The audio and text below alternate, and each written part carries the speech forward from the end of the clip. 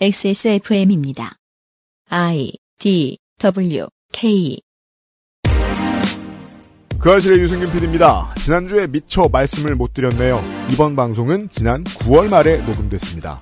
이미 지나간 앞으로 한동안 마주치지 않을 국가적 재난에 대한 논평 인 줄만 알았을 때요. 22년 11월 마지막 주말에 그것은 알기 싫답니다.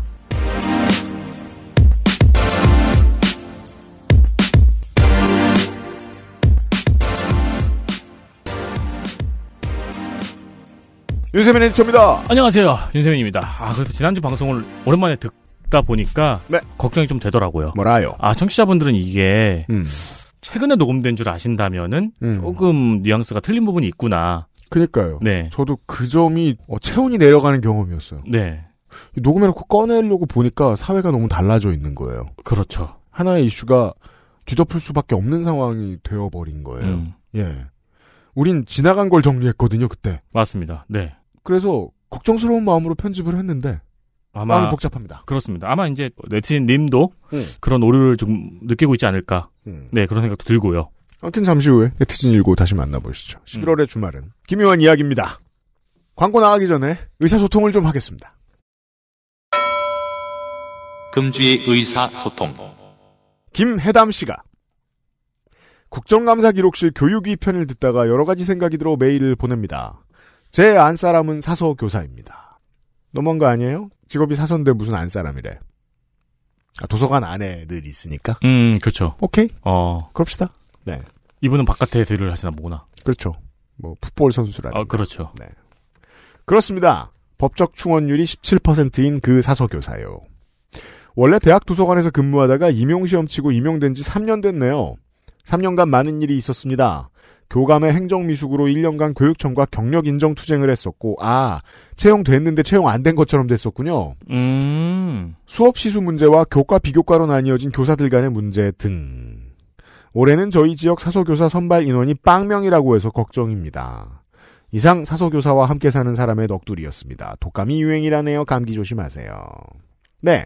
김혜담 씨. 저도 남편이 사소 선생님이면 이런 걱정할 것 같습니다. 네, 네. 네. 그 외에도 그 국정감사 기록실 듣고 이런저런 얘기 보내주신 많은 분들에게 감사를 드립니다. 다만 내년에 할 수 있을지 모르겠습니다. 가장 조용한 네. 게릴라들인데 뭐가요? 사서 교사들이요. 그죠? 네. 네. 사회의 가장 조용한 게릴라들.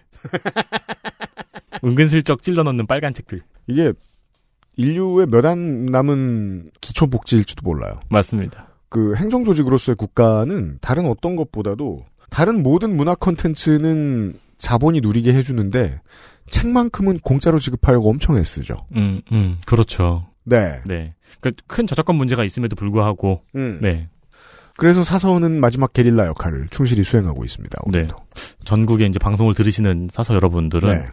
Last Guerrilla라고 타투 한번 해보세요. 좋습니다. 생각만 해도 멋있잖아요. 사서 선생님들을 위한 그것은 알기 싫답니다. 그것은 알기 싫다는 고전의 재발견 평산네이처 진경옥 피부 개선에 도움을 줄 수도 있는 큐비엔 콜라겐 두유는 원래 이 맛 온두유 많이 다른 토마토맛 토망고에서 도와주고 있습니다. XSFM입니다. 네, 진경호 팀장입니다. 저희 엄마요? 진짜 경자 옥자요. 충성 경장 진경옥 세상의 모든 경옥을 위해 120시간 진하게 다렸습니다. 활력 있는 사람들의 이름 진경옥 평산네이처. 콩도 첨가물도 모두 국산. 두유는 원래 이 맛. 온두유. 어렸을 때 엄마가 큼직하게 썰어주던 토마토 하얀 설탕을 듬뿍 뿌려주기 전까진 먹지 않겠다고 칭얼댔지 설탕은 몸에 좋지 않다고 실갱이하다 결국 못 이긴 척 뿌려주시던 크, 그 단맛과 상큼함의 조화 내가 좋아하는 토마토는 바로 그 맛이거든 당분 고민 없이 달달함은 300배 엑세스몰에서 주문하고 산지에서 직접 받자 꿀보다 더 진한 스테비아 토마토 토망고 토요일엔 토망고! 입니다. 스테비아. 설탕의 단맛보다 대략 300배 높다는 국화과 천연식물에서 추출한 성분입니다. 엄청나게 살을 찌울 것 같은 맛이지만 음. 실제로는 당분이 체내에 흡수되지 않습니다. 물론 뭐 이건 이거대로 뭐 단점이 있을 수는 있습니다. 있겠죠? 단맛을 한동안 안 보는데 익숙해졌다가 이걸 와구와구 먹는다. 음. 그러면 분명히 그냥 설탕을 찾게 되기도 합니다. 그럴 수 있죠. 네. 근데 저는 이제 그 한번 다이어트를 통해서 음. 이 제로류 절여져 가지고 음. 지금은 제로류밖에 안 먹거든요. 좋네요. 가당을 거의 안 먹어요. 제가 거기에 실패해 가지고. 그게 개고생입니다. 여러분은 안 될 거라 생각하지만 그게 됩니다. 원 없이 먹어도 포만감의 저칼로리이니 체중 조절을 원하는 사람들의 선호가 높습니다. 그 사실 가장 추천드리고 싶은 분들은 어쩌다 드시는 분들보다는 어, 식단을 이미 잘 챙기고 계신 분들이 그렇죠. 섞어 주시면 좋습니다. 맞습니다. 방울토마토, 완숙토마토 상품이 있는데 골라서 담아서 많이 사도 부담이 없습니다. 왜냐면 빨리 먹거든요. 그렇죠. 토마토는 찾아볼수록 건강에 굉장히 좋아요. 그렇습니다. 얼마 전에 유튜브 보니까 음. 장어 이런 거보다 음. 차라리 토마토가 더 낫다라고도 하더라고요. 기본적으로 전 장어를 안 좋아해요. 비싸서요. 제가 장어를 좋아하는 이유는 사실 그 기력의 문제가 아니고 음. 맛있잖아요. 기력 같은 소리 하고 있다는 생각이 듭니다. 네, 맞습니다. 맛있으니까 좋아하는 건데. 기력은 카페인 많이 들이부으면 나와요. 어쨌든 토마토는 건강에 다양하게 기여한다는 게 누구나 인정하는 사실입니다. 액세스몰에 이런 토마토가 있어요. 있습니다.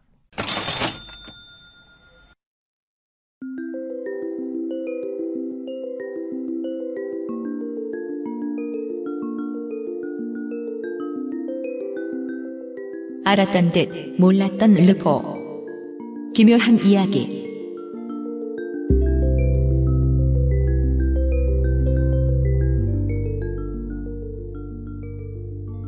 오늘도 네티즌 일군인과 함께합니다. 네, 안녕하십니까? 우리는 지난 시간에 요런 이해를 했습니다. 대한민국의 대통령이 헌정사 이후 가장 일본의 행정 패턴과 결이 잘 맞는 사람은 아닐까. 현재. 네. 우리 녹음 들어가기 전에 에디터가 이런 얘기를 했습니다. 꼭 그 우리 녹음하는 수요일에 사고를 쳐가지고 수요일이나 이 목요일. 양반들은 그래서 괴롭힌다. 그래서 잘 기억을 해봤더니 그렇지 않아요. 너무 자주 쳐서 그래요. 월요일에 치고 화요일에 치고 그러는데 진짜 센 거 수요일에 가끔 나오고 그러기도 한다는 거죠. 네. 그게 이제 그래서 이번 주에 시사인의 굽시니스트의 컬럼이 어, 가장 적당합니다. 민주당은 야당으로서 골탕 먹이고 싶어 하잖아요. 여당, 음. 집권 여당을. 큰 문제를 자꾸 풀어요, 민주당이. 그게 이제 국민의힘의 세계관이죠. 얘네들이 네. 자꾸 문제로 만든다. 근데 이제 실수로 발이 걸려 넘어져가지고 다 쏟아버린 거예요, 5년치를. 음. 100일이 안 됐는데. 그래서 이제 민주당이 울부짖죠. 아니, 우린 정쟁에서 이기고 싶은 거지. 나라가 망하길 바란 게 아니다. 근데 그 정도가 됐잖아요. 네. 우리가 지난번에 이제 녹음할 때, 어, 윤석열 대통령이 조 말리면 발언을 합니다. 그 유명한. 그리고 그날 오전에 대통령실이 기자들에게 문자를 보냅니다.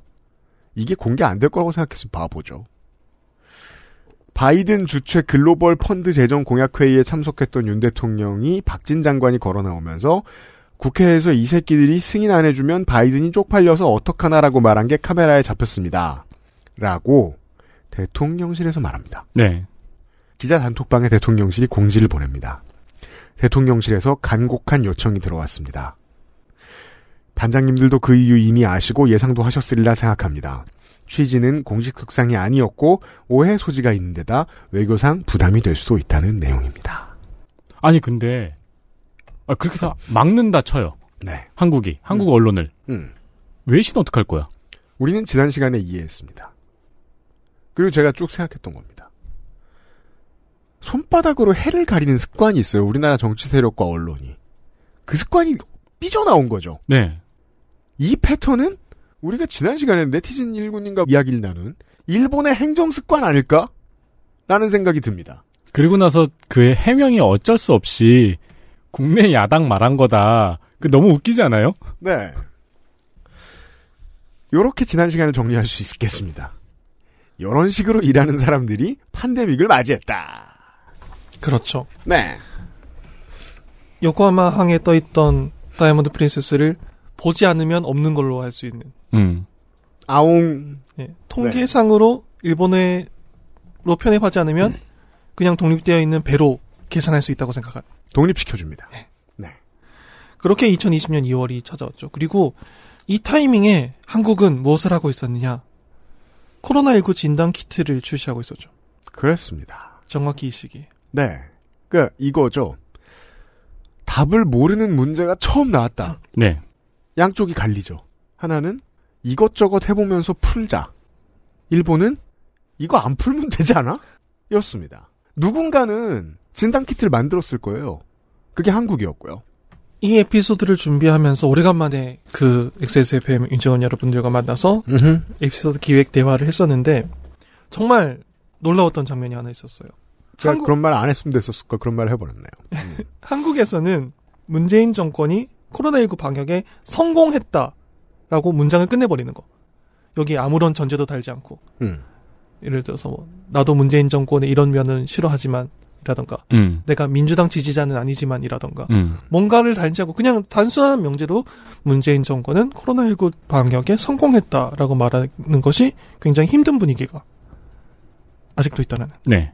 저는 그걸 이제 많은 언론인과 정치인들을 만나면서 뭐 몸으로 체험했기 때문에 방역 성공이라는 얘기를 하면 움찔 하면서 뒤로 빠져요. 음. 어, 그 말 하면 안 되는데? 라는 분위기가 좌우 모두에 팽배하게 있었어요. 지금도 그렇고요. 지금 술자리에서 술자리 분위기를 개판 만들려면은 윤석열 욕을 하는 것보다 음. 그래도 문재인 정권이 방역에 성공했잖아라고 말을 하는 것이 술자리 분위기를 개판 만드는 치트키죠. 논란의 대상이 됩니다. 네. 한국에서는. 해외에 계신 청취자 여러분. 그게 저는 놀라웠어요. 그것이 당연한 전제라고 그 다음 스텝으로 논의가 진행될 수 있을 만한 전제가 아니라는 사실이. 음. 제 결론을 먼저 말씀드리면 문재인 정권은 놀라울 정도로 성공적으로 코로나19 방역을 이뤄냈습니다. 그거 이게 이렇게까지 흔히 하는 말이죠. 이게 이렇게까지 합의하기 어려운 명제였구나라는 네. 실감이 들더라고요. 그래서 우리 둘이 지금 조용히 있잖아요. 물론 뭐 기본적으로 예. 전 세계 어느 시민 국가를 가거나 지금 자기들의 정부 뽑아놓은 정부가 국민들과 함께 예. 어떤 문제를 겁내 슬기롭게 잘 해결해냈다. 예. 이런 말은 전 세계 어딜 가나 솔직히 잘 못하긴 합니다. 하기 어렵긴 하죠. 하기 어렵긴 해요. 예. 예.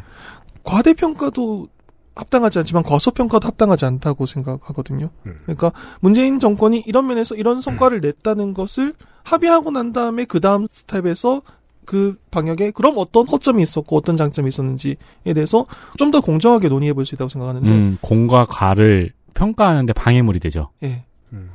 공도 과도 평가할 수 없게 되죠. 네. 음. 그 자체를 말할 수 없게 되면. 그런데 이건 꽤 자신 있게 말할 수 있어요. 문재인 정권의 코로나19 방역은 성공적이었어요. 희생자가 없었다는 말도 아니고 단점이 없었다는 말도 아니지만 성공했냐 실패했냐를 직설적으로 말하라고 하면은 성공했어요. 네. 이준석 대표가 아니지 지금 대표가 아니지. 슈레딩거의 대표죠. 아 그렇죠. 그렇죠. 네. C라 그래야 되나? 네. 가면서- 이준석 2 어때요? 아, 윤석열 정식. 윤석열 패키지. 이준석 2. 더 제가 이 새끼라고 할 수는 없으니까. 네. 네. 가면 쓰고 토론회 나갔잖아요. 음, 그래서. 아, 저는 우연히 그 본방을 봤어요. 목격자셨군요. 보고 있는데 아 이준석인데 하면서 보고 있었는데 다음날 기사가 뜨더라고요. 네. 근데 거기서 그런 얘기를 해요. 이 진보 측 패널이 음. 지지율 문재인 대통령의 지지율을 이야기를 한 거예요. 예. 그러니까 이준석 대표가 그 얘기를 한 거예요. 비상 상황이라 지지율이 올라간 거다. 음. 당장 외계인 침략하면은 대통령 지지율 90%로 올라간다. 음. 코로나19 상황이라 대통령 지지율이 높은 거다. 음. 그거 보면서 그 저런 눈 가리고 아웅을 하나. 음. 만약 그랬다면은 전 세계 각국 대표들의 지지율은 왜 땅을 쳤는데 음. 음. 왜 한국만 지지율이 올라갔는데? 네. 이 rally around flag 현상도 통하는 곳이 있고 아닌 곳이 있죠. 그렇죠. 네. 당장 도널드 트럼프는 재선에 실패했죠. 그럼요. 이건 심지어 이준석 전 대표가 그런 식으로 비아냥되는 것도 우스운 일인 게 방역에 성공한 것은 물론 정권이 역할을 중요한 역할을 했지만 좌와 우랑 상관없이 한국 사회가 이뤄낸 성과이기도 하죠. 네. 시민들이 잘했어요. 여기서 한국 사회라고 굳이 더 말씀드린 건 한국 국민만으로 한정할 일도 아니라고 생각해요. 팬데믹 당시에 한국에서 거주하고 있었던 외국인들도 포함해서 음. 네. 혹은 한국에서 자기 삶을 추구하고 있었는데 가족들과 한동안 볼 수 없었던 근로자를 포함해서 한국 사회 구성원들이 함께 이뤄낸 성과지 않습니까? 네. 이걸 과소평가하는 것도 저는 합당하지 않다고 생각하는데 그럼에도 불구하고 정말 그런 분위기가 팽배해 있더군요. 예를 들어 유럽에서 오랜만에 한국에 들어오신 분이 그런 얘기를 저한테 하셨어요. 한국은 팬데믹 답지 않게 너무 막 사는 것 같다 사람들이. 음. 2021년에 그런 얘기를 했었어요. 왜 그렇게 보는지는 알 수 있죠. 저 나라들은 일이 다 터진 뒤에 한참 뒤에서야 락다운을 걸었잖아요. 그렇죠. 유럽의 나라들은. 네. 그래서 실패했어요. 그때그때 해야 할 일을 잘 했으면 밖에 나돌아다녀도 괜찮거든요. 음. 그리고 밖에 나돌아다녀도 마스크 문제 때문에 싸우지 않고 평상시에 줄 잘 서고 이러면 괜찮았거든요. 첫 단추 잘못 끼워서 완전 망해가지고 그래서 그것 때문에 대가로 락다운이라는 걸 엄청나게 치러본 사람이 입장에서는 한국에 직접 들어와서 보면 뭐 잘하는 것 같지도 않은데? 라는 생각이 드는 거예요. 그렇죠. 왜냐면 QR을 너무 빨리 찍고 들어가가지고 QR 찍은지도 모르거든요. 그죠? 그렇죠. 그 신뢰가 형성돼 있으니까 찍을 줄 모르는 사람이 그냥 들어가도 안 걸리기도 해요. 그렇죠. 왜냐면 당연히 찍고 들어왔겠거니. 네. 그랬는데 그렇게 잘 막아냈음에도 불구하고 문재인 정권을 칭찬하는 것 자체가 말하기 어려운 분위기가 있었다는 것. 터부죠. 예. 까지는 이해를 했어요. 그러면은 그 당시에 2020년, 2021년에 한국 사회의 코로나 대응에 대해서 모든 언론이 비판적이냐라고 하면은 그렇지도 않다는 게 또 흥미롭다는 거죠. 왜냐하면 음. 언론은 기업인은 칭찬을 하더라고요. 가만 있자. 기- 언론은 기업인을 칭찬했죠. 기업인을 칭찬을 한다. 예. 기업인은 칭찬을 하더라고요. 음. 그 MBC 고전 명작 다큐멘터리 성공시대라는 다큐멘터리 시리즈가 있었죠. 음. 보신 기억 있으십니까? 그럼요. 재밌었어요. 어떠셨어요? 어른들이 그렇게 많이 보라고 막. 네. 플롯을 이야기하자면 이게 성공 시대는 외환위기 이후인 1997년에 시작해서 2001년에 막을 내린 것으로 알고 있는데 음. 그 위인전이죠. 경제인 위인전이죠. 맞아요. 그러니까 영웅이 등장하는 네. 음. 짧은 한 방송 하나 프로그램 안에서 영웅이 등장해서 거대한 난관을 헤쳐나가는 거죠. 음. 그게 용이 등장해서 검사가 용을 쓰러뜨린 이야기가 아니라 네. 이것이 이제 고전적인 영웅전이고 그렇죠. 영웅담이고 음. 현대 영웅담은 그 기업인이. 기업인이 예를 들어서 뭐 금고가 개발을 하지 못했었는데 혼자 정말 골방에서 열심히 노력해가지고 한국형 금고를 개발하는 이야기 뭐 이런 거. 그렇죠. 맞아요. 예. 음. 그래서 그 금고를 만드는 기업이 성공한 이야기 이런 네. 것들이 정말 잘 편집돼서 툭하면 떠드는 맨주먹의 성공 신화. 아 그거죠. 네. 그래서 정주영으로 시작을 했죠. 음. 예. 그런 성공시대라는 방송이 있었는데 일본에서도 이것과 정말 유사한 플랫폼의 다큐멘터리 시리즈가 있었어요. 프로젝트 X라고. 그래요. 비슷하다고 하면 오해하실 분들도 계실 수도 있는데 프로젝트 X가 후발 기획입니다. 2000년에 시작했거든요. 음. 2000년에 시작해서 2005년에 종영했는데 음. NHK 프로젝트 X 조선자들이 딱 이 구조를 가집니다. 음. 그러니까 한국과 일본은 사이가 지금보다 더 좋았다면은 예. 강경기가 없었다면은 PD들 서로 스카우트 엄청 해갔을 것 같아요. 왜냐면 똑같잖아요. 그죠. 프로젝트 X가 딱 이거예요. 일본도 국산 여객기를 만들어 보고 싶다. 일본도 이제 우리 엔진으로 음. 비행기를 날려보겠다. 음. 그런 식의 이제 과제가 맨 처음에 주어지고 난 다음에 그걸 네. 하기 위해서 맨주먹 성공 신화들이 그렇죠. 네. 모험에서 미션을 이제 이루어낸 네. 성공한 기업가들 얘기. 한국의 보수 언론이 코로나19 진단 키트 개발한 기업인들을 보도하는 게 딱 이 성공 시대 필로 보도를 했더라고요. 자, 골라주신 기사는 네. 2020년 12월에 나온 동아일보죠? 네. 동아일보의 아티클입니다. 시젠에 대한 사실상 홍보자료급입니다. 2주 만에 키트 개발 기술 내공의 힘, 속도 정확성 편리함 갖춘 K방역 주역. 이러고 이제 코로나 진단 키트를 개발한 회사를 쪽쪽 빨아주는 기사입니다. 아, wording도 이런 wording을 아주 옛날스러운 wording이에요. 1월 말 한겨울에 따뜻한 밥 한 끼 먹을 수 없어 이틀 동안 라면으로 때웠습니다. 라면도 따뜻한데. 힘들고 졸리지만 서로 웃으며 바쁘게 움직이는 팀원들을 보며 신뢰를 확인했습니다. blah blah. 차 안에서 잠깐 동안이나마 눈을 붙일 수 있었습니다. 가뿐함을 느끼며 본사로 돌아왔는데 몽롱한 상태로 팀원들과 점심 식사의 감미로운 맛을 잊을 수 없습니다. 어떤 점이 이냐면 공무원과 의료진에 대해서 이렇게 떠들었으면 진보 진영에서 허구한 날 이야기했던 의료진의 처우 개선이 됐을 거예요. 공무원들 급여 올라갔을 거예요. 이렇게 언론이 성공신화를 써줄 때에 이렇게 쪽쪽 빨아줄 때에 공통점이 있어요. 빨아지는 대상. 기재부 돈을 안 가져갑니다. 공공 영역에서 일하지 않아요. 그리고 그 중에서 특히 임원들을 칭찬하죠. 키트 개발인데 임원 이야기가 계속 나와요. 영, 그러니까 정말 얼마나 아. 놀라웠으면 제가 성공시대를 검색해봤을까요? 아 정말 오래간만에 부른 플롯이다 이거. 음. 임원들이 영웅적인 판단을 해요. 음, 난세 위기의 시기에 영웅적인 판단을 선견지명을 가지고 영웅적인 판단을 해서 네. 우리의 갈 길은 여기다라고 이야기를 해요. 유일하게 들어가 있는 사람 사진은 개발 현장 그래가지고 그냥 누군지 나와 있지 않은 회의하는 장면과 네. 부사장의 사진이네요. 그렇죠. 실제로 실무 연구진의 인터뷰 같은 건 아무데도 없어요. 꼭 노인네 팔짱 끼고 있습니다. 이럴 때. 임원진이 이 길이다라고 했을 때 이제 밑에 사람들이 뛰어간 거죠. 그러니까 이 임원들이 영웅적으로 판단했다는 걸 정말 강조해주죠. 음. 오래간만에 보는 성공시대 프로젝트 X 식 논조인데 이런 음. 식으로 이제 수많은 난관을 헤치면서 영웅적인 기업인들, 경영자들, 임원진들이 한국 경제 앞날을 비춰준다는 성공 스토리인데 이런 건 잘해요. 이 스토리를 봤을 때 동시기에 문재인 정부의 방역을 보도한 것과 같은 언론사인가라는 의심이 들 정도잖아요. 그렇죠. 비슷한 시기에 동아일보는 백신 안 들어온다고 울부짖다가 백신 무섭다고 울부짖던 일을 열심히 했었으니까요.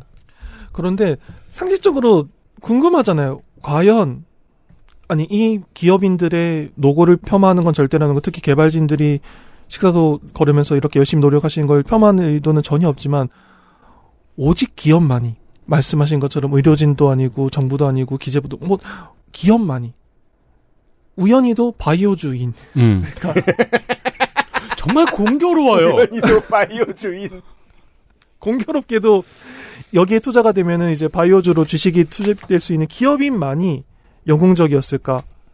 그래서 cross check를 해보고 싶어서 정부가 이 진단 키트 개발을 위해서 어떤 일을 했는지에 대해서 검색을 해봤는데 제가 능력이 부족한 것인지 정말 찾기 어렵더라고요. 음. 그래서 언론 기사로 찾기 어렵구나 싶어서 제가 다음에 어떤 스텝을 밟았느냐면은 괜찮으시면 같이 한번 검색을 해봐 주시겠습니까? 문재인 정부 국민 보고라고 왜 퇴임하면서 브리핑 자료가 있지 않습니까? 음. 거기 페이지에 보면은 좀 scroll down하면 변화 50이라고 하는 란이 있어요. 네. 변화 50 플러스. 예. 거기에 한국판 유대 아래 보면은 선진국 도약 그 다음에 코로나19가 나와요. 음. 코로나19의 K 방역 주인공이라는 아티클이 있습니다. 네. 여기 아티클이 여러 개가 나오는데 글 순서 중에서 세계가 놀란 K 코로나 진단 비밀은 서울역 회동이라는 기사가 있어요. 간단한 글입니다. 설 연휴가 끝나던 2020년 1월 27일 서울역 회동은 국내 코로나19 진단키트 개발의 시작점이라 할 수 있습니다. 질병관리본부와 대한진단검사의학회 국내 민간 시약 개발업체 들은 이날 서울역 역산의 한 회의실에 모였습니다. 진단 시약 개발이 시급한 과제임을 인지한 보건당국이 설 연휴를 마치고 상경하는 기업인들과 회의를 하기 위해 서울역에 회의 장소를 잡은 것입니다. 이 자리에서 질병관리본부는 엄중한 코로나19 상황을 설명하며 긴급 사용 승인 계획과 함께 민간 개발 업체에는 진단 시약 개발을, 학계에는 객관적인 검증과 지원을 요청했습니다. 위해 질병관리본부는 그동안 자체 개발한 코로나19 진단검사법을 업계에 공개했고 국립보건연구원은 국내 연구소, 의대, 민간기관 등의 코로나19 바이러스를 제공했습니다. 이는 민간 기업들이 진단 키트를 개발하고 성능을 높이는데 결정적 역할을 하게 됩니다. 그리고 일주일 만인 2월 4일 국내 1호 코로나19 진단 시약에 대한 긴급 승인이 이루어졌습니다. 즉 동아일보가 아까 이야기한 성공시대 조 여기에 배경에는 정부가 있었다는 거예요? 근데 상식적으로 당연하지 않나요? 아니면 그 업체가 어떻게 코로나19 바이러스를 확보할 수 있죠? 일본도 할 수 있지 않았겠느냐는 전제를 가지고 생각을 해보자고요. 예. 만약에 다이아몬드 프린세스호에 대한 박해를 하지 않았다면 한편으로 이야기하면은 요때 또 등장을 한 사람이 오세훈 서울시장이에요. 네. 후보 시절에 공약으로 내들었던 게 자가진단 키트 사용을 도입을 함으로써 거리두기 낮추고 영업시간을 늘리겠다. 음. 자영업자들의 표를 얻기 위한 이야기였는데 이 시즌이 자가진단 키트가 아직까지 완전히 개발되지 않은 시즌이었어요. 그렇죠. 그때 이미 정부에서 자가진단 키트 개발 발주를 낸 네. 상황이었죠. 음. 그리고 발주를 내고 긴급하게 자가진단 키트를 개발을 하고 정부는 승인을 했어요. 음, 그래서 그 공을 이상하게 우선 서울시장이 가지고 갔어요. 음. 정치의 재밌는 점입니다. 네. 그렇게 가져갈 때는 또 오세훈 서울시장의 공은 인정을 해주는군요. 어, 그건 그 언론에서 인정을 언론에서 하니까요. 인정을 하니까요. 타이밍 장사죠. 아까 함께 본 동아일보의 기사에는 전혀 언급되지 않았던. 근데 상식적으로 누가 봐도 그 기사를 읽으면서 생각을 해보면 질병관리본부가 주도적으로 움직이지 않았는데 기업만으로 이걸 할 수 있는 일인가? 음. 정부가 컨택하지 않고. 근데 문재인 정권 국민보고를 보면은 질병관리본부가 이 시기에 이미 자체 개발한 코로나19 진단법을 업계에 공개했고 이- 이미 이때 정부가 갖고 있던 노하우가 민간 기업에 공개된 순간이 있었죠. 네. 국- 국내 연구소 의대 민간 기관에 코로나19 바이러스를 제공했고 음. 관이 주도한 면이 분명히 있었어요. 그런데 이거를 찾아보는 게 정말 정말 어려워요. 청와대의 공식 유튜브 페이지와 그 대통령 기록관의 공식 대통령 기록물에서는 찾아볼 수 있어요. 그런데 언론이 이 서울역 회동, 이 서울역 회동은 분명히 문재인 대통령의 홍보를 담당했던 사람들에서 보도하기 좋으라고 만들어둔 단어였을 거예요. 그렇죠. 진단 키트 개발에서 서울역 회동이라는 것이 중요한 터닝 포인트였다. 음. 이것을 사람들에게 알려달라는 것이 분명히 전제가 되어 있었어요. 음. 이 스루패스는 받아들여지지 않았죠. 언론이 절대로 안 받아서줬죠. 서울역 회동이라는 단어를. 아주 어색하실 겁니다. 이게 이제 또 일본 이야기를 더 넘어가겠습니다만 안에서 볼 때 하나도 본 적 없는 얘기죠. 바깥에서 볼 때도 보이기 쉽지 않지만 그래도 그나마 보셨는데 관이 주도한다라는 말에 어폐가 있다 하더라도 관이 깊숙이 개입하지 않고서는 이렇게 빨리 진단 키트가 개발되고 승인될 수 없어요. 동아일보의 기사에는 이렇게 표현이 되어 있습니다. 1월 27일 질병관리본부는 시젠을 비롯한 국내 체외 진단기업체들을 소집해 이틀 후인 1월 29일 코로나19 진단 제품에 대한 1차 허가 접수를 받겠다고 공지했다. 이틀이라는 짧은 기한 내에 완제품의 스펙과 임상 개시에 필요한 서류들을 모두 제출하라는 통보였다. 질병관리본부가 검체 샘플 등을 모두 관리하고 있었던 만큼 제공했죠. 임상에 진입하고 제품 인허가를 빠른 속도로 받아내려면 정부 요구 사항에 맞춰야만 했다. 안 맞추면 어떡할 건데요. 정부는 대마왕처럼 표현이 되어 있네요. 그렇죠. 그러네요. 그러니까 정부의 핍박을 이겨내고 회사를 성공시킨 사람들인 것처럼 묘사했어요. 음. 이게 성공시대 중요한 플롯이죠. 이제 기업인 임원진이 영웅인 거예요. 칼을 든 기사인 거죠. 그 웃긴 게 그랬으면 왜 전 세계에서 우리나라가 제일 먼저가 됐느냐는 질문에 답할 수 없기도 하거니와. 예. 그리고 그때에 그렇게 해서 며칠을 밤새서 맞췄어요. 음. 맞췄어야죠. 급했으니까. 그 대가로 이 회사는 매출 1조 3천억의 회사가 됩니다. 순이익만 5천억이 넘어요. 이걸 굳이 이렇게 잡지 않아도 됐을 일이지 않습니까? 저는 정말 조심스럽게 이야기하는 거지만 보수 정권에서 이런 똑같은 행동을 했을 때 보수 정권의 언론 보좌관 쪽에서 서울역 회동이라는 워딩을 만들어서 이렇게 대접까지 해드렸는데 언론사가 안 받아서 소리라고 믿긴 어려워요. 음, 네. 맞아요. 뭐 똑같이 써줬겠죠. 한겨울에 따뜻한 밥 한 끼 먹을 수 없어 이틀 동안 라면을 따왔다고. 그런데 문재인 정권이 했- 똑같은 행동을 했을 때 서울역 회동이라는 이 만들어진 워딩은 스루되어 버리고 아무도 받아쳐주지 않고 기업인들은 코로나19라는 재난과도 싸우고 무능한 문재인 정부와도 싸워야 했어요. 재밌어요. 국뽕 이렇게 좋아하는 나라가. 네. 네. 문재인 정부가 힘을 합쳐서 코로나19라는 재난과 싸워도 되잖아요. 그런다고 기업인이 선한 역이 아니게 되나요? 아니 그리고 안 하시면 싸울 수 없어요. 당연하죠. 네. 제가 그래서 항상 부탁드리는 거예요. 이 진보 정당의 관계자 여러분들께. 여러분의 당이 집권했을 때를 상상해 보시라. 우리나라 음. 언론이 어떻게 움직일지를 상상해 보시라. 그렇죠. 진보 정당에서도 문재인 정권의 방역에 대해서는 평가가 박한 편인가요? 어, 그럼요. 아, 그건 너무 안타깝네요. 네. 정의당은 백신 피해자 세미나도 했었죠?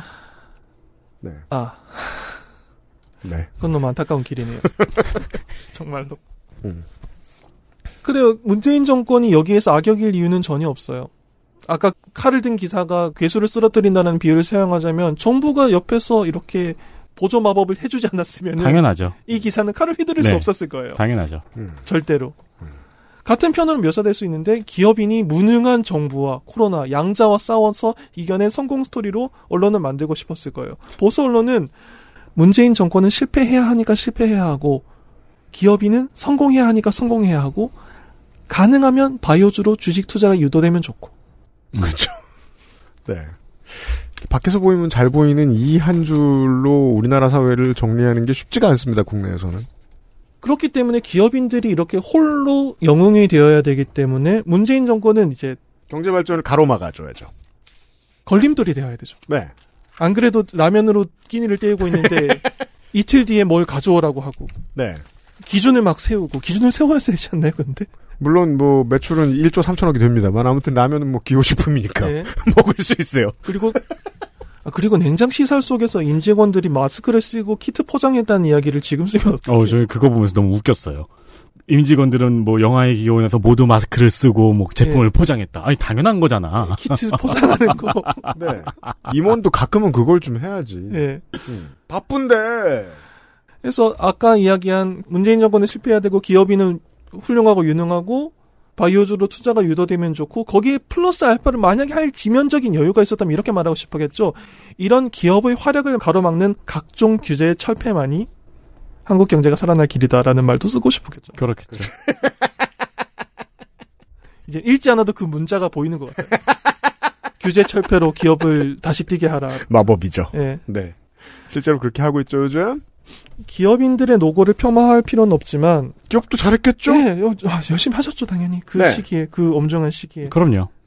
이 모든 맥락에서 의도적으로 문재인 정권이 선제적인 정책 판단과 충분한 지원을 생략하는 게 이것도 합당하지 않다고 생각해요. 그러니까 이게 그 반론이 있어요. 많은 언론인들로부터. 만약에 언론이 그렇게 사실을 왜곡했다면 예. 총선에서 민주당이 그렇게까지 압도적으로 승리할 수 있었겠느냐. 음. 그러니까 나름 나쁘지 않은 분석이에요. 음.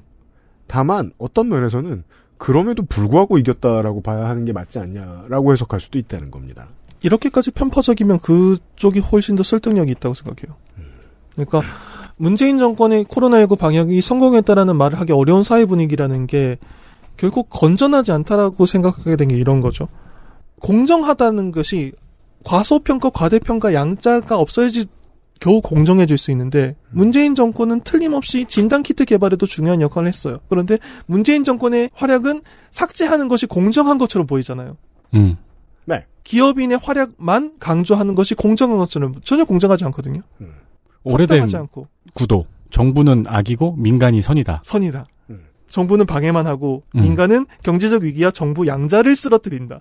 실제로 윤석열 대통령이 그런 mindset을 가지고 있죠. 음. 정부도 혐오하고 국회도 혐오해요. 네. 그래서 국회는 패싱하고 정부의 역할을 최소로 줄인 다음에 정부의 재산을 팔고 있죠, 요즘? 그러면 전혀 새로운 다른 감염증이 다른 감염병이 창궐을 했을 때 윤석열 정부에서 음. 윤석열 정부는 문재인 정부가 만들어 놓은 가이드라인을 모두 폐기할 것이냐 그대로 걸어가지 않을 것이냐 그 요즘 또 질병관리청이 요새 백신 꼭 맞으라고 열심히 얘기하고 있죠. 근데 보도를 안 해서 억울할 거예요. 정부에서. 네. 요즘은 백신 관련 보도가 좀 괜찮아졌나요? 없죠. 아, 그 이것도 사실 엄중한 건데 이제 마지막 변이 이후로 계속해서 매일같이 사망자가 6, 70명씩 나오거든요. 네 음, 충분히 강조돼 마땅해요. 근데 안 나와요. 음, 네. 되게 당연한 것처럼 여겨지기 시작했죠. 또 위험한 일이죠, 충분히. 음. 그 점에 있어서 이제 그 올해부터는 갑자기 우리나라가 이제 방역에 있어서 우등생 취급을 안 받죠. 네. 예, 국제적으로. 음. 한번 더 포인트가 올 거예요. 왜냐면은 백신 효과가 떨어지는 시점이 분명히 오거든요. 그렇죠. 다 같이 맞았으니까. 음. 그리고 한국의 보수 언론의 이런 보도 행태를 보면서 생각난 게 있어요. 이런 식으로 그들이 그려내고 싶었던 그림이 너무 명확하지 않습니까? 기업의 발목을 잡는 정부, 코로나와 무능한 정부 양자와 싸워서 이겨내야 되는 기업인.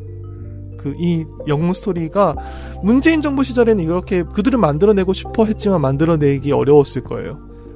왜냐하면 옆 나라에 실제 사례가 있었거든요. 그렇습니다.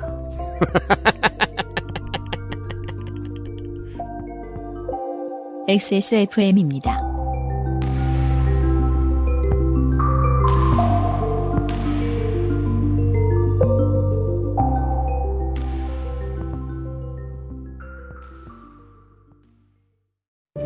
진경옥은 물을 타지 않습니다. 진경옥은 대량 생산하지 않습니다. 진경옥은 항아리에서만 중탕합니다. 진경옥은 엄선된 원료만 사용합니다. 진짜를 찾는다면 진경옥입니다. 고전의 재발견 진경옥 평산네이처 생체 이용률이 높은 RTG 오메가3 혈행 건강엔 큐비엔 제조원 주식회사 한국 CNS팜 유통판매원 주식회사 헬릭스미스 제조일은 원래 벽 밑에 도장으로 찍혀 있는 거야. 공산품이 그렇지. 한가운데 패키지에 잘 보이게 써놓으면 안 되는 거야? 어? 좋긴 한데 포장비 쓰다 망하지 않을까? 제조일자가 잘 보여요. 두유는 원래 이 맛. 온두유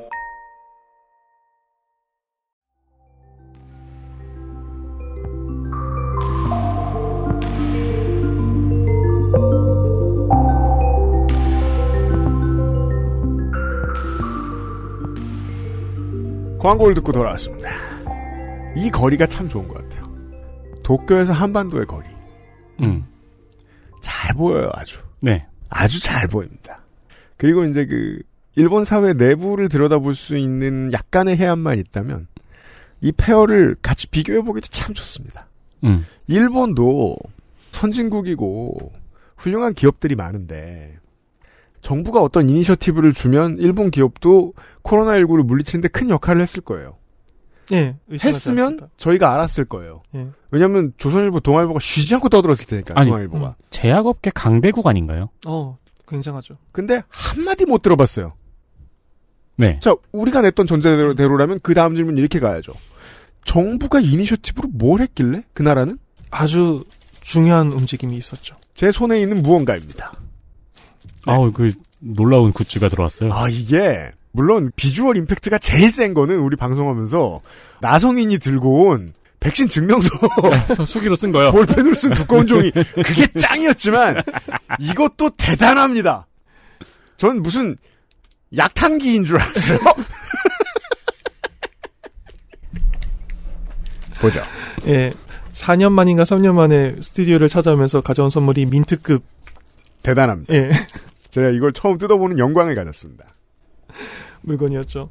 2020년 4월에 아베 신조 정권은 총 260억 엔의 예산을 들여서 260억 엔이면 가만히 있자 또 얼마예요? 3천억? 당시 환율로는 그 정도였죠. 3천억 원이요?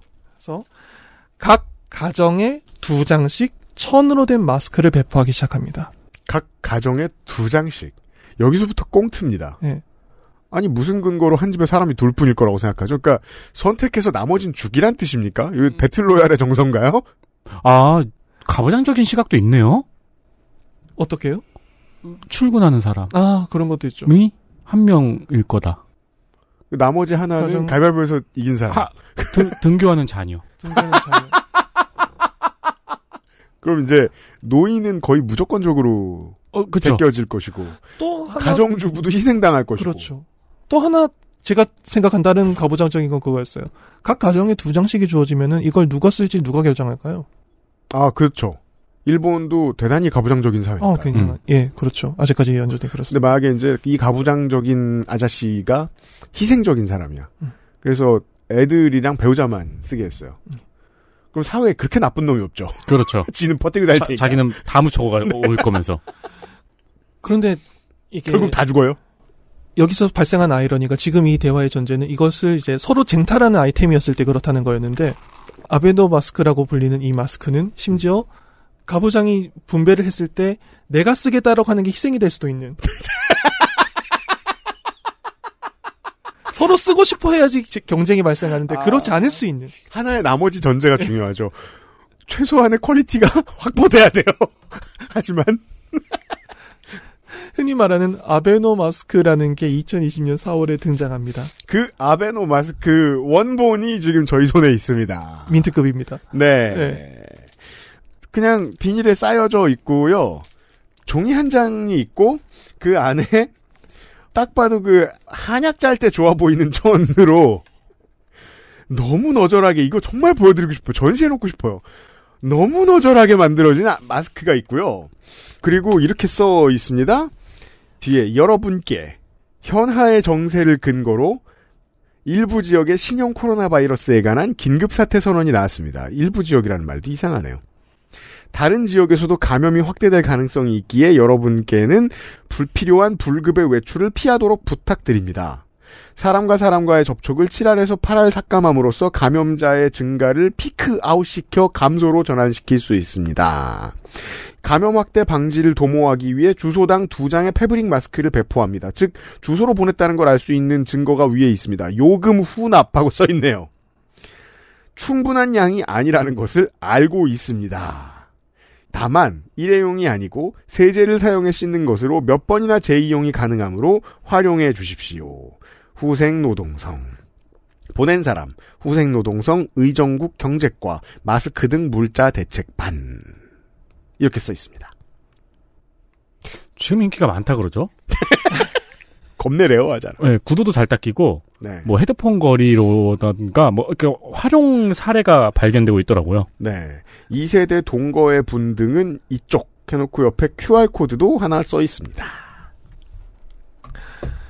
이게 rare해진 게 2021년 12월이 되어서 겨우 키시다 정권이 재고로 쌓였던 8,130만 장은 폐기하기로 결정을 했습니다. 8천만 장이면 거의 일본 인구 다 커버할 수 있는 수준인데. 그래서 이제 잔량이 폐기됐기 때문에 더더욱 rare한 그 그잖아요. 이게 8천만 장이 폐기됐다는 건 사실상 3천억 원이 그냥 허공으로 날아갔다는 소리입니다. 그렇죠. 그러니까 옆 나라에서는 서울역에서 기업인들 한번 만나가지고 이런 임팩트를 일으켰는데 네. 여기는 3천억을 써서 이런 짓을 했어요. 일본은 선지국 중에서도 손꼽히는 제약 강국입니다. 진작에 알고 있어요. 예. 손꼽히는 제약 강국입니다. 아직도 그런 분들 계시지 않나요?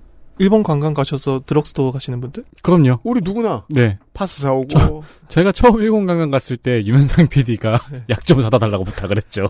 저도 그거 사왔었어요. 그 혈액순환 관련된 거는 저 아직도 일본 거 사 먹어요. 음. 예.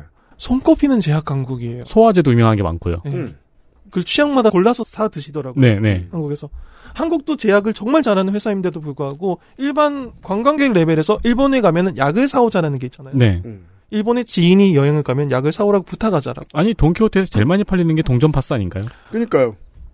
어마어마한 제약 강국이고요.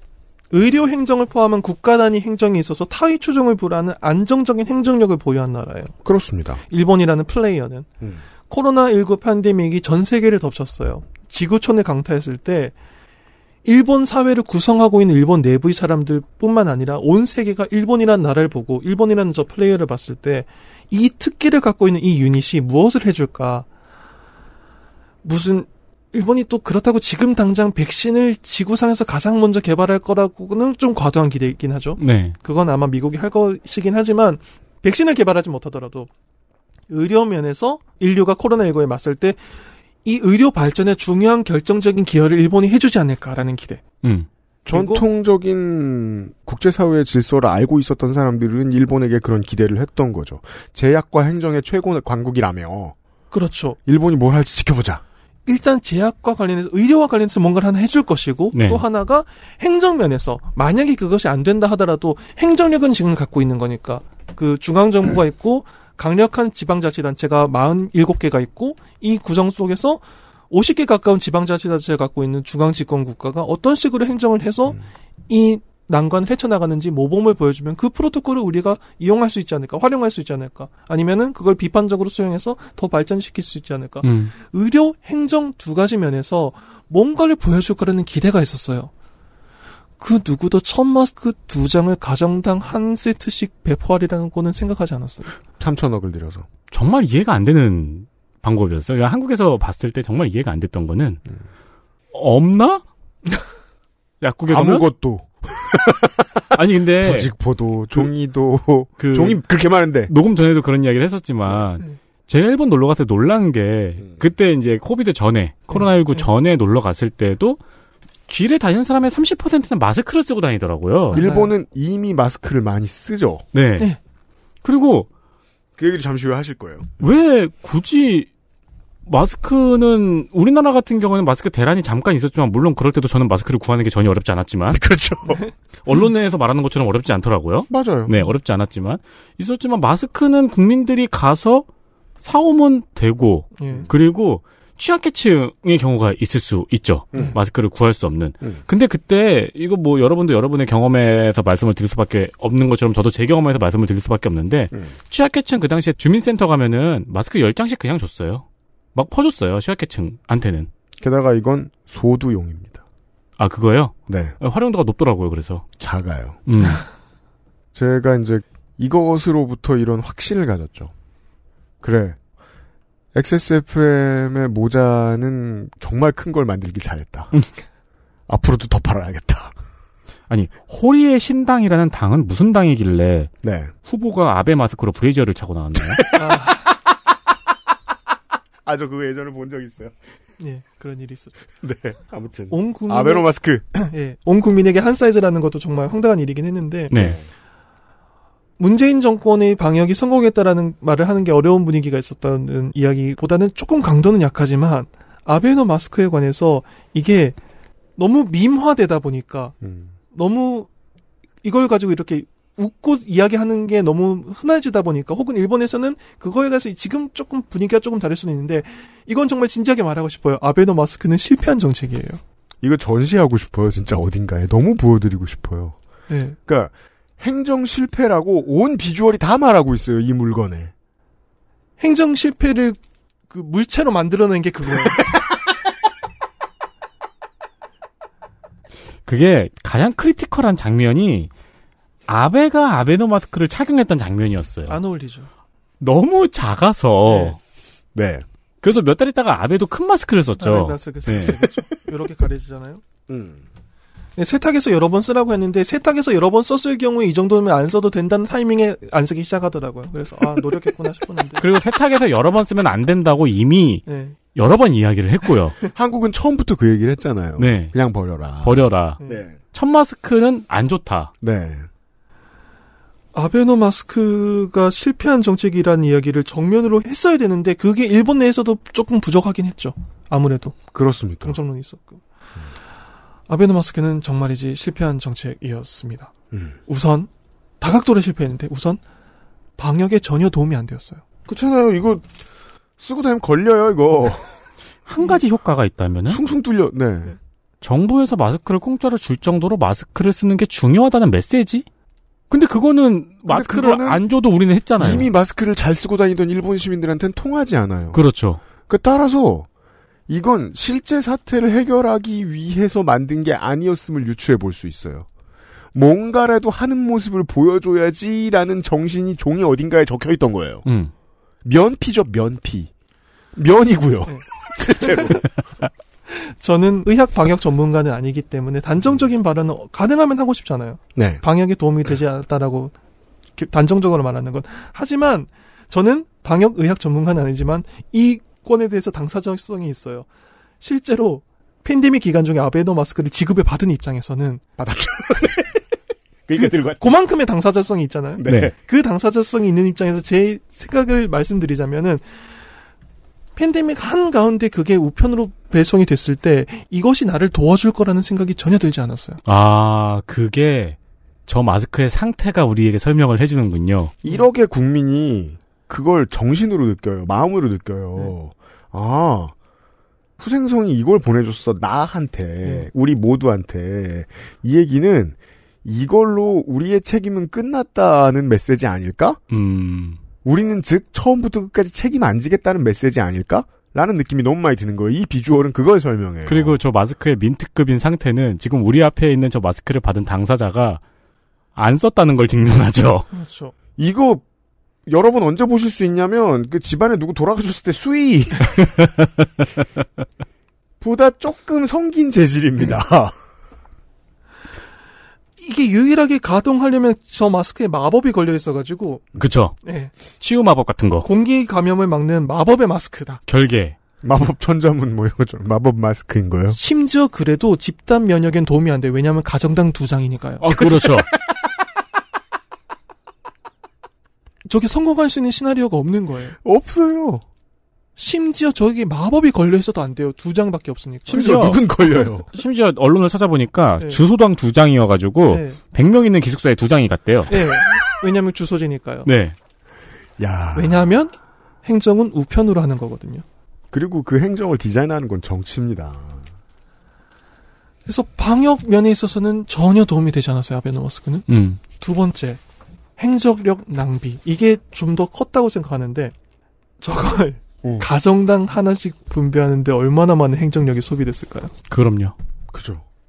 거의 선거급의 노동력이 들어가요. 네. 일본은 하나의 중앙정권이 있고 47개의 지자체가 있어요. 저거는 중앙정부에서 결정한 일이었고 네. 지자체에서 실행을 했겠죠. 음. 얼마나 많은 행정력이 저기에 빨려 들어갔을지 상상하기 어려워요. 공무원들 밤 샜을 겁니다, 이거. 그리고 코로나 시기에 이 시기의 행정력은 정말 조금만 강조해서 표현하자면 그 시기의 행정력은 사람의 생명이에요. 음. 네. 사람의 생명을 살릴 수 있는 힘이었어요. 음. 그게 저 마스크를 온 가정에 뿌리는데 소요됐어요. 사실 지금도 마찬가지고요. 저는 이제 좀 알아요. 제가 그 동주민센터 옆에 살거든요. 네. 이틀에 한 번은 야근입니다. 음, 그리고- 그렇죠. 아직까지 그렇죠. 네. 그리고 그 야근 때 하실 일이 뭔지도 보여요. 다른 일도 있겠지만 상당 부분이 저도 감염됐을 때 전화 한 통 받았잖아요. 요즘은 간소해졌습니다만. 네. 그 전화 돌리는 일만도 얼마예요. 아, 그럼요. 그 일 하실 분들이 이거 하셨다는 거예요. 음. 이 마스크 돌리셨다는 거예요. 살릴 수 있는 생명을 살리는데 좀 더 행정력을 투여하지 않았다는 입장에서 보면은 굉장히 큰 이 마스크는 그런 의미도 있어요. 네. 굉장히 큰 비판을 받아야 되죠. 실제로 사람을 살릴 수 없는 물건이고 이걸 돌리느라 사람을 살릴 수 있는 데에 쓸 수 있는 에너지가 여기에 들어갔다. 어찌 보면 묻고 넘어갈 일이 아니었던 거죠. 한국의 대처와 비교가 되죠. 우리가 마스크 주민등록번호 기반으로 10부제를 해서 구매를 했던 네. 그 김이남하고 굉장히 비교가 많이 되죠. 네. 그 그때도 약사 선생들이 되게 힘들었어요. 네. 그거 일일이 체크하게 하고 우리도 그 방법 모르니까 수기로 했어요. 음. 어떤 명민한 양반들은 그거를 적으시면 바로 저 엑셀에다 입력하고 뭐 그런 분들도 2인 1조로 하시는 데 중에 그런 데도 네. 간혹 있었습니다만 즉 그게 개별에 맡겨졌어요. 개별에 맡겨지면 행정력은 상상을 초월하는 피로로 돌아옵니다. 문제는 아까 말씀해 주신 그 전제죠. 그게 그렇게 약사들이 필요해서 한국에선 실제로 방역의 효과를 봅니다. 네. 근데 이, 이 물건은 아니잖아요. 이 수의 마스크는. 그렇게 행정력이 불필요한 곳에 허비됐어요. 음. 허비되어서는 절대로 안 되는 시기. 이게 두 번째 실패이고요. 끝으로 방역에도 도움이 안 되고 행정력도 낭비되는데 사회적인 자원도 크게 낭비됐습니다. 이건 되게 필연적인 것 같아요. 행정이 낭비되면 사회적 자원도 같이 낭비될 수밖에 없어요. 우리나라에서도 몇 번 소개됐습니다. 이 이야기. 이걸 보시면서 제가 지금 드리는 말씀을 받아들이기 쉽지 않으시겠지만 저는 이것을 이렇게 민트급으로 가져올 수 있었던 게 운이 좋았던 케이스인 거예요. 왜죠? 상태가 안 좋은 마스크가 도착하는 일이 많았어요. 어머, 진짜요? 곰팡이가 피어 있거나. 어머. 믿기 어렵죠. 아니 일본에서. 민트급도 개쓰레기인데 여기서 더 나쁜 게 오기도 아, 한다고요. 그러네. 생각해 보니까, 아니, 아, 그러네. 내가 왜 그 생각을 못했죠, 우리가? 우리가 마스크를 사면은, 음. 저포장으로 안 돼 있죠. 네. 완전 밀폐가 되어 있죠. 밀폐되어 있지도 않아요. 네, 근데, 그쵸. 저렇게 포장된 마스크는 팔지 않죠. 네. 한국이 질 좋은 비닐 막 낭비하는 나라잖아요. 그렇죠. 심지어 차광도 돼 있어요. 그 네. 비닐에. 맞아요. 근데 이건 투명 비닐이고 심지어 외부 공기가 들어갈 수 있게 돼 있어요. 저 네. 포장이. 재질은 면이고요. 그래서 유통 단계에서 실수를 하면 썩을 수도 있어요. 네, 오는 곰팡이가 길에. 필수 있죠. 습하면 곰팡이 피겠네요. 바로 펴요. 이야, 야 이거 우리 그 공개 방송할 때 그 가끔 창고에 옷 남은 거 있으면 팔잖아요. 네. 그 마네킹에 씌워야 되겠다. 이거 어떤 건지 보여드리기 위해서. 아니, 근데 저거는, 아, 보존해야 될 것 같아요, 저거는. 그리고 다시 포장해 놔야지. 행정력 실패의 피규어잖아요. 그니까 말이에요. 이건 반드시 어떻게든 청취자 여러분들께 오프라인으로 한번 보여드릴게요. 이게 운이 좋은 케이스라는 게 받아들여지세요? 음, 민트- 그러네요. 2년간 민트급으로 보존할 수 있었다는 것 자체가 저에게는 운이 좋게도 아주 좋은 상태인 게 도착했다는 거예요. 어차피 써도 감염될 수 있는 물건 주제에. 제가 저걸 봤을 때 이게 방역 면에서 나를 도와주지 않겠다라는 생각이 들었는데 심지어 그게 곰팡이가 피어 있는 상태로 왔으면은 그 가정의 가족들은 어떤 생각을 했을까? 아, 그러네. 그 저는 아까부터 그 얘기 한 거잖아요. 놀린 거예요, 이건 국민들을. 음. 국민들을 놀리는 동시에 이 메시지를 보낸 거예요. 우리는 방역 책임질 생각 없는 정부다. 우리가 최선을 다해봐야 이 모양 이 꼴이다. 우리한테 기대하지 마라. 그러니까 지지율에 하등 도움이 안 되는 네, 방식. 그렇죠. 게다가 심지어 사회적 자원의 낭비라고 하는 것은 아베노 마스크 제조와 배포와 관련해서 금전적인 이득을 본 개인 집단이 있을 것이라는 보도가 정책 발표 직후부터 나옵니다. 만든 회사요. 이래야 어른들이 홀 스토리로 이해를 합니다. 일을 이따위로 하면 보통 수주받은 쪽에 눈을 한번 쳐다봐야 돼요. 페이퍼 컴퍼니가 안 등장하면은 뭔가 스토리가 완결성이 없죠. 네. 페이퍼 컴퍼니들이 등장합니다. XSFM입니다. 달콤한 건 건강에 해롭다. 당분 고민 없이 달달함은 300배. 꿀보다 더 진한 스테비아 토마토 토망고. 여행 많이 다니자던 아내, 중학교 올라가는 첫째, 늘 내 걱정뿐인 우리 부모님. 사랑하는 사람들을 위해 늘 건강하자는 그 말, 꼭 지키고 싶습니다. 건강을 천연스럽게 Cure by Nature 큐비엔 자, 잠시 광고하고 지나가겠습니다. 큐비엔도 현재 블랙프라이데이 행사를 하고 있습니다. 자, 저희의 마지막 블프 광고입니다. 네. 아무리 유통기한 임박이라 하더라도 이건 너무한 가격을 또 알려드리겠습니다. 좋습니다. 블랙프라이데이 유통기한 임박 제품 행사 단 3일입니다. 네. 어제부터 내일까지입니다. 즉, 이틀 남았어요. 맞습니다. 이미 시작했는데 송구스럽습니다. 네. 25일부터 27일까지 기억력엔 천마 등 복합 추출물, RTG 오메가3, 활력 충전엔 홍경천 3종 제품의 1개월분을 균일가 배송비 포함 7,500원에 판매를 합니다. 너무하네요. 어우 나도 가서 사야겠다 이거. 사르락토는 1개월분 12,000원. 한 며칠치 남았는데 살 수밖에 없네요. 그렇죠. 예. 네. 아, 사르락토는 먹다 안 먹으니까 확 다르더라고요. 그니까 말이에요. 이게 저도 궁리를 좀 해야겠는 게 이게 먹는 것도 먹는 건데 장을 열심히 움직일 수 있게 하는 다른 운동이 좀 필요하겠다. 어. 너무 지배당하는 건 불쾌해요. 어, 약간 그런 게 있어요. 네. 네. 음. 아침에 준비 시간이 달라요. 네. 이건 안 돼요. 그리고 유통기한 이슈가 없는 정상 제품을 구매할 때, 음. 이 구매 옵션에서 천 원을 추가하시면은, 네. 앞서 말씀드린 이 할인 제품들 있잖아요. 네, 유통기한 7,500원, 12,000원. 네. 요 제품을 천 원에 한 개 구매하실 수 있습니다. 그 빨리 없애달라 이런 얘기입니다. 맞습니다. 그러니까 예를 들어 이렇게 할 수 있죠. 선물용은 정상 제품을 구매하시면서 음. 선물용은 임박 제품 주기 좀 그렇잖아요. 네. 정상 제품 구매하시면서 내가 먹을 임박 제품을 천 원에 사시는 그런 방법도 쓸 수 있죠. 그럼요. 유통기한이 짧은 대신 워낙에 저렴하니까 선물용으로 가까운 사람들에게 나눠주세요. 그렇습니다. 내가 말한 거고 정반대 멘트가 뒤에 적혀 있었네요. 저는 윤세민 에디터의 안을 추천합니다. 네, 그러니까 드리는 거는 네. 진짜 친한 사람 아니면은 유통기한 넉넉한 거 드리고 진짜 친한 사람은 야 이거 빨리 먹어야 돼 이러면 줘도 되지만 내가 먹을 거 이제 천 원에 쟁여놓고 그렇습니다. 네, 엑세스몰로 달려가 주십시오. 달려가 주십시오.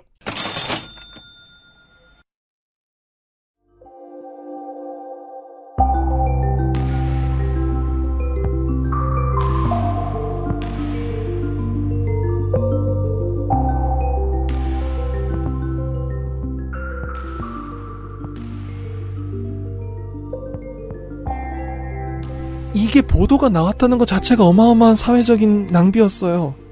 왜 기자들이 아베노 마스크 그거 이 페이퍼 컴퍼니 진짜 실사주가 누군지를 쫓아다니고 있어야 되냐고요.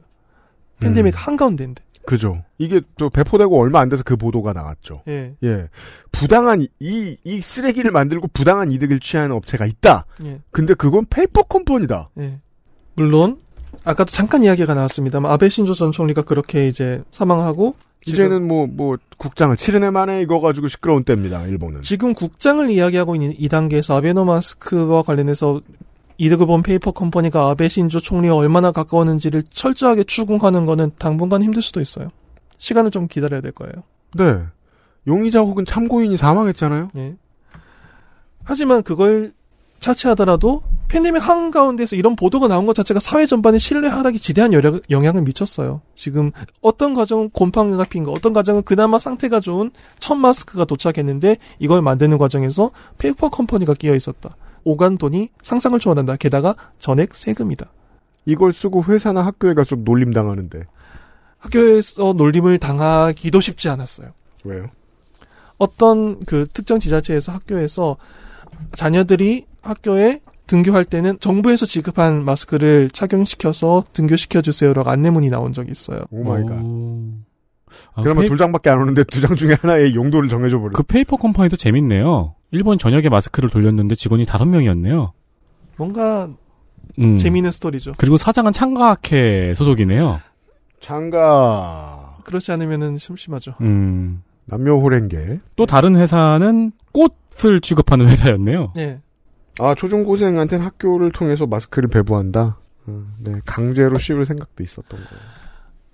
아직까지 그 생각이 있는 거죠.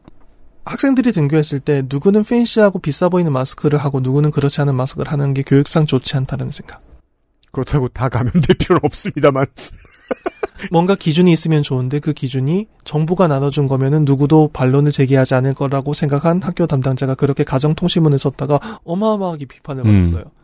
어마어마하게 비판을 받은 것 중에 하나가 정말 너무나도 직설적인 반론이었죠. 자녀가 셋이면 어떻게 합니까? 음, 음. 가정당 둘이거든요. 맞아요. 자, 우리는 이제 신고지라에 등장한 종이의 힘이 잘못 발현되었을 때의 상황을 지금 계속 구경하고 있어요. 이런 사회적인 논란들이 사회적인 피로도를 어마어마하게 상승시켰어요. 그랬겠습니다. 그건 밖에서 봤을 때는 안 보이죠. 사회적 피로도.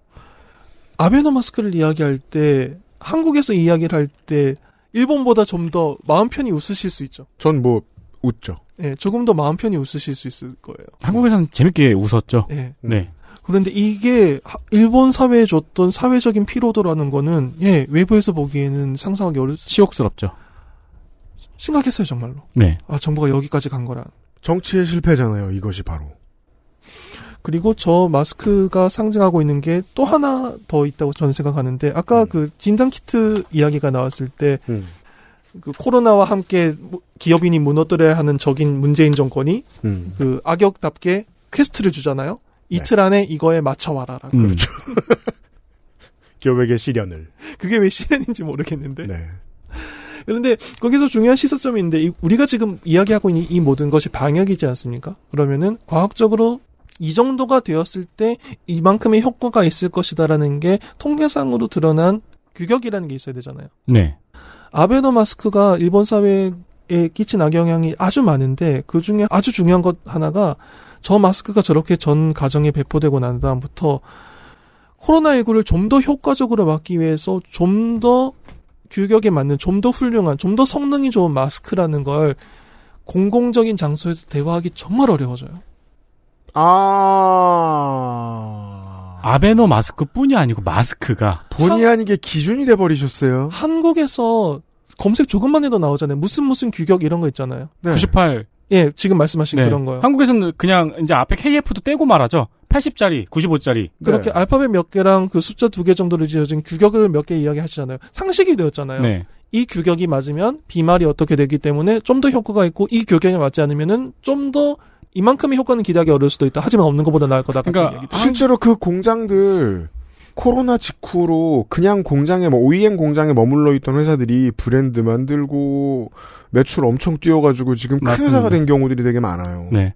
그리고 아침에 가정에서 어, 쉽게 나오는 대화예요. 확진자 수가 좀 늘면은 음. 부모님이 자녀한테 94짜리 끼고 나가라 오늘은. 답답해도. 그거 써 음. 라면서. 네. 제가 그 얘기를 이제 가장 이제 사례답게 해주셨던 곳이 이제 29데이즈였었는데 만드는 공장이 같은 공장들이에요. 주로. 이었죠. 같은 펄프여서. 예. 아, 근데 그 중에 몇 개가 대형 마스크 회사로 성장해 버린 거예요. 아, 그래서 29데이즈가 고생을 좀 했겠죠. 음. 예, 맞는 OEM 공장 찾느라고 자기 기준에 맞는. 실제로 그렇게 기업도 잘 됐고 사람들은 방역의 효과를 누렸다니까요. 한국은 아베노 마스크가 있었다면 만약에 한국도 그런 마스크를 만들었다면 정부가 그러지 못했겠죠. 그런 말을 하기 굉장히 어려워져요. 일단 방송 패널들이 그 말을 할 수가 없어요. 음. 지금 아 말씀하신 그렇구나. 90 몇이라고 하시죠? 94? 그런 기준이 있잖아요. 네. 그런 기준을 누가 방송 패널 말해요? 누가 봐도 그 기준에 아베노 마스크가 도달하지 않잖아요. 심지어 수치화할 수 없잖아요. 예. 그러면 정부가 행정에 실패했다는 걸 그 말을 하는 순간 모든 사람 인정하고 가야 되는 거예요. 그렇죠. 또 그건 못해요. 일본이 분위기상. 마스크의 규격에 관해서 심도 있는 대화를 나누기가 정말 어려워져요. 어, 엉망인 게 규격이 됐으니까. 야 이게 한국하고의 그 사회 분위기상의 가장 큰 차이랄까요? 물론 지금 저희가 녹음하고 있는 이때쯤에는 이제 전선이 형성이 새로 돼서 막 그 사회 논쟁 정도로 바뀌 버릴 것 같다는 느낌이 들긴 하지만 실제로는 보수든 진보든 모든 한국 사람들이 저게 난리면이 아니고 바이든이라는 거 다 알았어요. 이 여기가 천사인 줄 알고 그 방송에서도 다들 그 얘기 쉽게 해요. 제가 그래서 그 가장 못마땅한 게 일본은 관찰 예는 겁나 많잖아요. 그렇죠. 그런 데서 막 그 옆에 패널이 이상한 소리 하면 뒤통수 때리는 것도 되게 자연스러워요. 저 그게 제일 불쾌한데 일본 TV 볼 때. 그래서 한국 연예인도 가서 맞고 그냥 웃잖아요. 이미 브리핑을 들어서. 예. 예. 옆 사람 때리는 건 괜찮은데 음. 왜저 멀리서 미친 짓 하는 아베는 못 때려요. 음. 이 나라는 그런 분위기 아닌 얘기잖아요. 기준이 되어서는 안 되는 게 기준이 되어버리니까는 그 기준과 관련된 모든 것을 언급하지 않아 버립니다. 어, 우리에게 상식이었던 KF80, KF94라는 기준이 일본에서는 없었군요. 그렇게까지 세분화해서 대화를 하지 않아요. 음. 나쁜 걸 못 말하니까 좋은 것도 추구 못 하게 됐군요. 지금 말씀하신 두 가지 규격을 이야기할 때 이거보다 이것이 좀 더 편하지만은 방역 효과가 좀 더 낮을 수도 있다는 게 전제가 되어 있잖아요. 그렇죠. 그렇게 상하를 나누기 시작하면은 지금 보시기에 아베노 마스크가 어느 랭크에 갈 것 같아요. 링크에 없어요. 없죠. 랭크에 없어야죠. 아니, 그리고 심지어. 등급 외잖아요. 팬데믹 이전에 제가 일본 관광 갔을 때 일본 사람들이 쓰고 있던 마스크보다도 훨씬 더 정확하니까요. 그렇죠. 예. 그러면은 실제로는 일본 이 사기업들이 만들어낸 게 지금 말씀하신 그 규격을 다 채우고 있다고 쳐요. 다 일본에서 기업들이 만들어가지고 실제로 판매하고 있던 것들은 훌륭한 제품들이라고 친다 하더라도 그게 사회가 토론하진 않게 되죠. 음. 아까 이야. 말씀하신 것처럼 오늘은 조금 이렇게 확진 횟수가 늘었으니까 부모님이 자녀들에게 조금 답답하더라도 이 규격을 써라라는 대화까지는 가지 않죠. 음. 그죠. 예민한 부모님들은 눈치를 살살살 봐가면서 한동안 좀 안전했던 것 같아. 한국은 단 하루지만 확진자 0이 나온 날도 있죠. 예. 그런 때는 밖에 나가면서 자꾸 덥다고 칭얼대던데 어, 덴탈을 쓰게 할 수도 있어요. 네. 음. 네. 그랬다가 좀 나빠지면 80, 94 이렇게 올릴 수도 있는 거죠. 그거를 모든 가정이 종류별로 다 가지고 있죠. 우리 집도 그래요. 네. 그렇게 움직일 수 있는 것 자체가 기업들이 사업의 기회를 엄청나게 누렸다는 거죠. 무조건 좋은 것만도 아닌 거잖아요. 그러니까 코로나를 더 막을 수 있으면은 생활하기 좀 더 불편할 수 네. 있으니까 음, 옵션을 많이 만들고 음. 판론을 여러 개를 개척할 수 있고 음. 그 모든 게 사라진 게 저 두 개의 첫 마스크였어요. 음. 이 정도는 되어야 정권이 사회와 기업의 발목을 잡았다고 할 수 있어요. 자, 우리는 그 한 문장을 말하기 위해서 이 한 시간을 썼습니다. 네. 이해가 잘 되네요. 자, 발레를 이야기하고 싶을 수도 있습니다. 한국에서도요. 그건 뭐 정치 성향하고 무관합니다.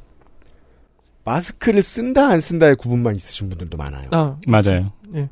그건 전 세계 어딜 가나 다 마찬가지인 것 같더라고요. 그런 분은 주로 덴탈 씁니다. 왜냐면 50개 묶음이고 싸거든요. 맞아요. 저도 20년엔 덴탈 샀습니다. 회사에 그따 둘 필요가 있을 것 같아가지고. 그때 거 아직 쌓여 있습니다. 아니 그리고 사무실에. 확실히 94를 오래 쓰고 하루 종일 쓰고 그럼 약간 어지럼증 같은 것도 있고 그래서 네. 네. 그 어딜 가나 마스크 문제에 대해서 깊이 생각하지 않는 분들이 있을 수 있다는 얘기입니다. 음. 아니 마스크 아니라 우리 몸에 거는 모든 것에 대해서 신경 안 쓰시는 분들 많잖아요. 그렇죠. 그건 뭐 바지든 뭐 벨트든 뭐 티셔츠든 다 마찬가지예요. 다만 구분할 땐 구분할 필요가 있다고 생각하는 사람들이 많을 때 그 사람들을 위한 선택의 폭을 만들어 줄 필요가 있거든요. 그게 없어지는 건 이상하잖아요. 그러니까 온 국민이 다 똑같은 마크 주커버그 티셔츠를 입을 수는 없잖아요. 음. 그렇죠. 1억 장을 만들었다고 해도 주커버그 노 티셔츠를 돌릴 필요는 없다는 거야. 왜냐하면 사람들의 눈이 낮아져 버려. 네. 기준이 낮아지거나 기준을 없애버리는 거는 정말 대부분의 경우에서 위험하지만 그것이 방역과 관련되면 치명적이죠. 네. 아, 우리가 되게 당연하게 생각했네요. 이렇게 해서 그 이면은 못 봤습니다. 아베노 마스크를 통해서 사람들이 방역을 말할 수 없는 상황을 만들고 동시에 기업의 발목도 잡았다. 방역의 질도 낮추고 되게 여러 가지를 했네요. 네. 기껏해야 한창 팬데믹이 심할 때는 마스크를 두 겹으로 쓰라 세 겹으로 써라 정도의 어나운스가 나온 적이 있는데 그게 과학적으로 해결책이 될 수 있다고 하더라도 그때 정말로 기업의 발목을 잡게 되는 거죠. 기술 개발이라는 게 없어져 버리니까요. 아까부터 말씀하신 덴탈이라는 게 이제 그런 규격을 말한 것 같은데 그런 음. 걸 이제 두장 써라 세장 써라 같은 어나운스가 나온다던가 그렇죠. 사회와 기업의 발목을 잡은 거예요. 3년 걸리더라고요, 한국에서. 뭐가요? 음. 마스크가 색깔이 입혀지고 고급화되는 게. 아 그죠? 패셔너블해지는 거예요. 네. 네, 그래서 저도 요즘은 오프 화이트 색깔을 쓰고 다닙니다. 네. 이게 처음에는 그냥 하얀색 마스크를 사람들이 사서 쓰는 것만으로 급급했는데 이 팬데믹 3년차 되니까 기업들이 고급화를 하더라고요. 그것도 이제 중요한 다음 스테이지 네. 사업 기회가 된 거죠.